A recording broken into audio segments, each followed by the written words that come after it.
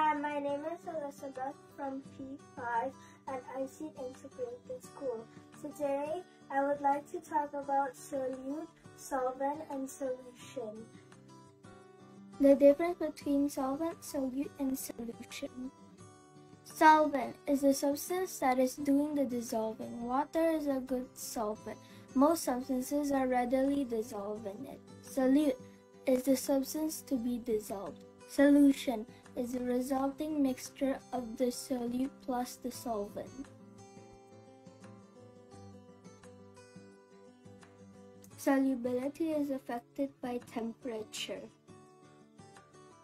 Solids. When they are being dissolved in liquid, the solubility increases as the temperature increases.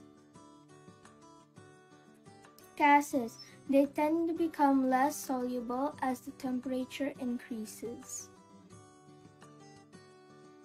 Temperature does not determine whether a compound is soluble or not, but it can speed up the rate it takes a soluble compound to dissolve.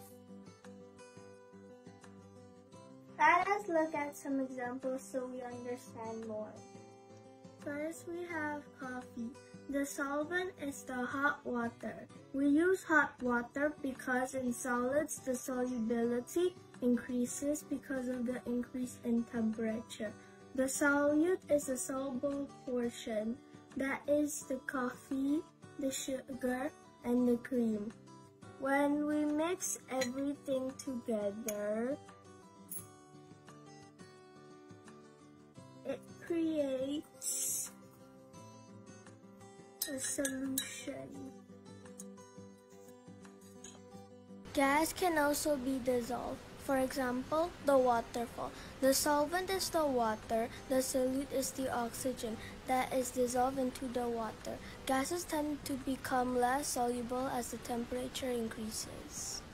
So that's the difference between solute, solvent, and solution and how temperature can affect solubility. Hope it helps to make you understand. Thank you. Bye bye.